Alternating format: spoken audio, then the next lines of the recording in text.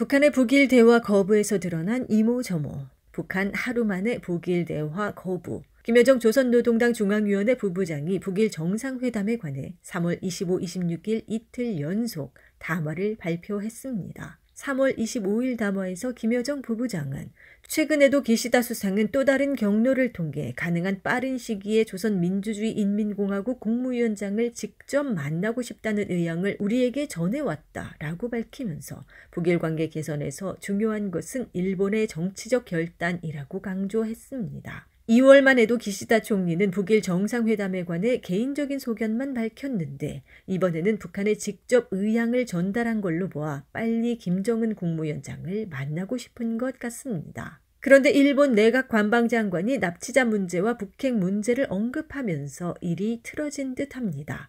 북한은 일본인 납치자 문제가 이미 해결됐기 때문에 다시 논의할 수 없다고 했는데 내각 관방장관은 전혀 받아들일 수 없다라고 반박했고 핵미사일 등의 여러 현안을 포괄적으로 해결한다는 방침에 변함이 없다라고까지 했습니다. 그러자 김여정 부부장은 3월 26일 담화에서 일본은 역사를 바꾸고 지역의 평화와 안정을 도모하며 새로운 북일 관계에 첫 발을 내디딜 용기가 전혀 없다라고 평가하며 북일 정상회담 관련 발언은 자기의 정치적 목적에 따른 것이라고 규정했습니다. 그러면서 북일 정상회담은 우리에게 있어서 관심사가 아니다라며 일본 측과의 그 어떤 접촉도 교섭도 외면하고 거부할 것이라고 선언했습니다. 북한이 하루 만에 일본과 대화하지 않겠다고 입장을 분명히 밝힌 것입니다. 북한은 일본이 새로운 북일 관계로 나아갈 정치적 결단을 할 가능성이 없는 것으로 판단하고 앞으로 일본과 어떤 대화도 하지 않겠다는 것을 분명히 하였습니다.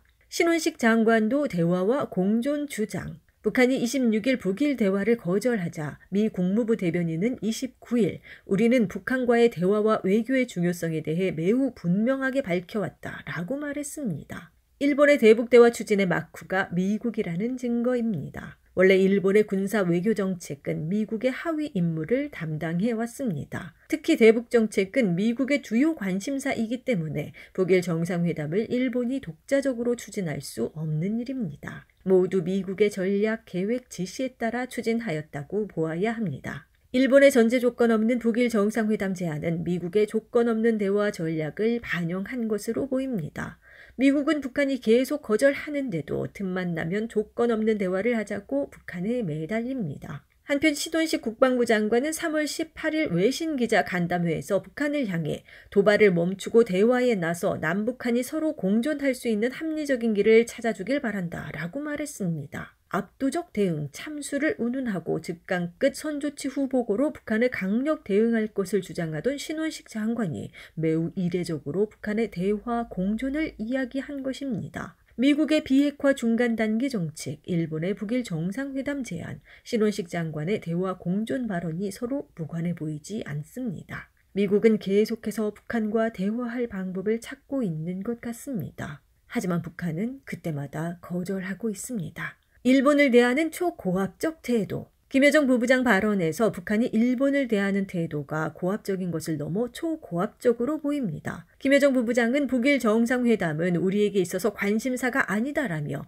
일본을 무시하는 듯한 발언을 했습니다. 또 아직 대화를 거부하기 전인 25일 담화에서도 자기가 원한다고 하여 결심을 하였다고 하여 우리 국가의 지도부를 만날 수 있고 또 만나주는 것이 아니라는 것을 기시다 수상은 알아야 한다라며 초고압적인 태도를 보였습니다. KBS 뉴스는 27일 보도 예상됐던 파국 북한은 무엇을 원했을까 해서 북한의 이딴 일방적 발표에 일본은 일단 외교적으로 다소 망신을 당한 모양새가 됐습니다. 라고 평가했습니다. 북한이 일본을 이렇게 대할 수 있는 배경은 뭘까요? 북한은 일본을 물리쳐야 할 침략자 숙적으로 생각하고 있습니다. 일본은 일제강점기에는 한반도를 침략하였고 지금은 미국과 함께 북한을 압박하고 있습니다. 북한은 이런 일본을 반드시 없애버려야 하는 존재로 생각하고 있는 것입니다. 그리고 북한은 자신의 힘이 강하기 때문에 일본을 신경 쓸 필요가 없습니다.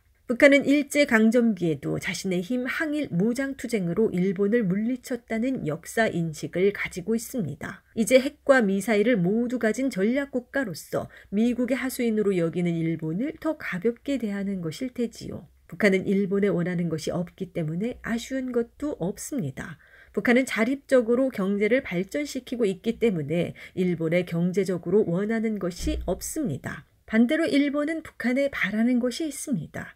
일본이 이번 정상회담을 추진한 데에는 기시다 총리의 지지율을 올리기 위한 정치적 목적과 일본 경제의 잃어버린 30년을 북일 경제 협력으로 돌파해 보려는 경제적 목적이 있었던 것 같습니다. 그래서 북한은 초고압, 일본은 저자세를 취하는 것으로 보입니다. 이상한 분석들. 북한의 북일 정상회담 거절과 관련해 일부 미국 전문가들은 중국과 러시아의 대북 지원에 따른 자신감을 배경으로 분석했습니다. 그러나 북한은 중국과 러시아가 지원하지 않을 때도 일본과 대화를 하지 않았기 때문에 이런 분석은 설득력이 없습니다. 북한이 북일 정상회담을 거절한 이유는 간단합니다.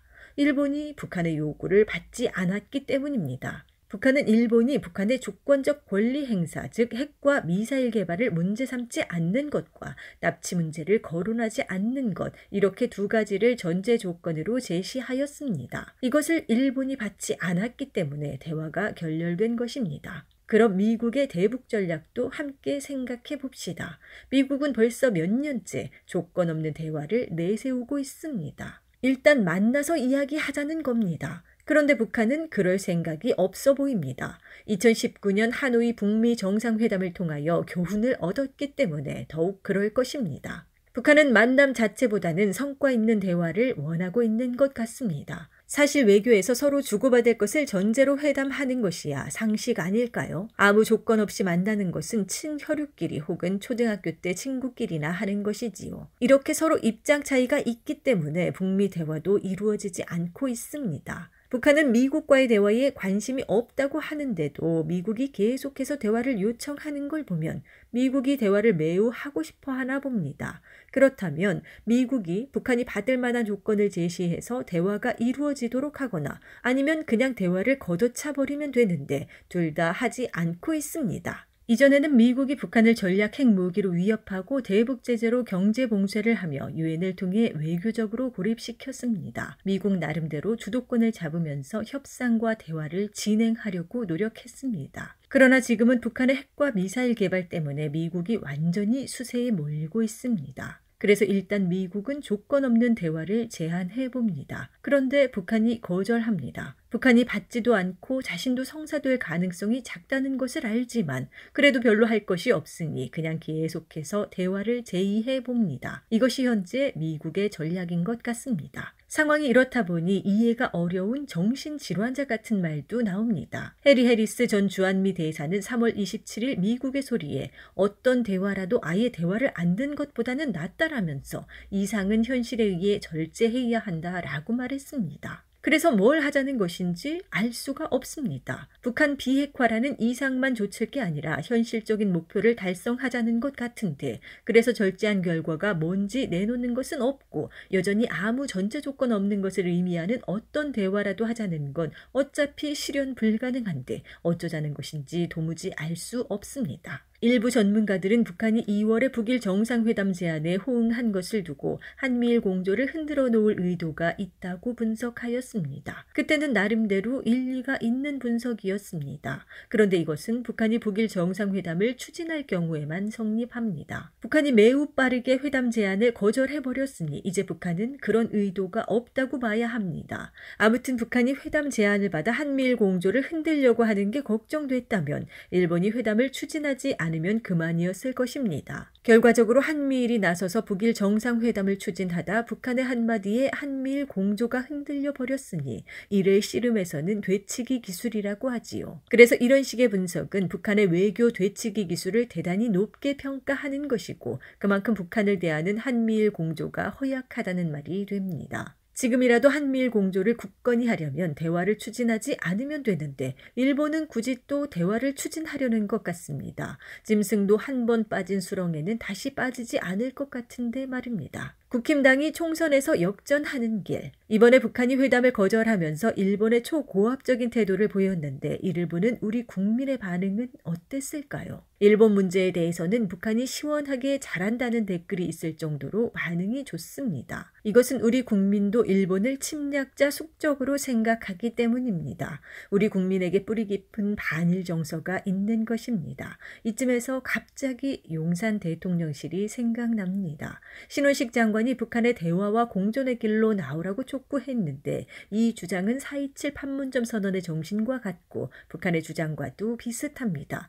북한과 주장이 비슷하다고 해서 나쁜 것이 아닙니다. 이익이 되고 좋은 것은 서로 배우고 활용해야 합니다. 그렇다면 윤석열 대통령이 북한처럼 일본을 초고압적으로 대하면 어떨까요? 예를 들어 일본이 지금 독도를 자기 땅이라고 주장하는데 일본은 독도가 한국 땅이라고 4월 5일까지 인정하라.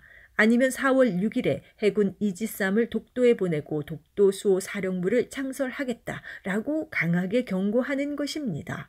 그리고 4월 6일이 되면 경고한 그대로 집행하면서 일본이 앞으로도 독도를 자기네 땅이라고 우기면 우리 대한민국은 그 즉시 일본과 단교하고 대마도를 한국 영토로 점령 편입하겠다라고 특별 담화를 당당하게 발표합니다. 윤석열 대통령이 이런 특별 담화를 발표하면 민심은 민심은 폭발할 것입니다. 윤석열 정권과 국힘당이 지금 총선에서 극심한 위기에 몰리고 있는데 아주 시원하게 뒤집어 대승을 안아올 것입니다.